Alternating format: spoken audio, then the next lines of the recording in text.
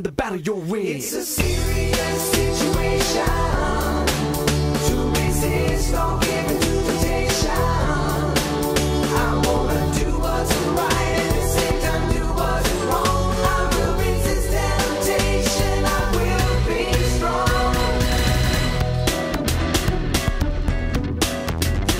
Sometimes we put ourselves in the situation. Other times we mind our biz. Here comes temptation. Either way, the The struggle makes my mind swirl. But greater is He that's in you than He that's in the world. Boys and girls, men and women, obedience is better than sinning. Temptation is strong, but don't give in to sin. And the battle you'll win. It's a serious situation. To resist, don't give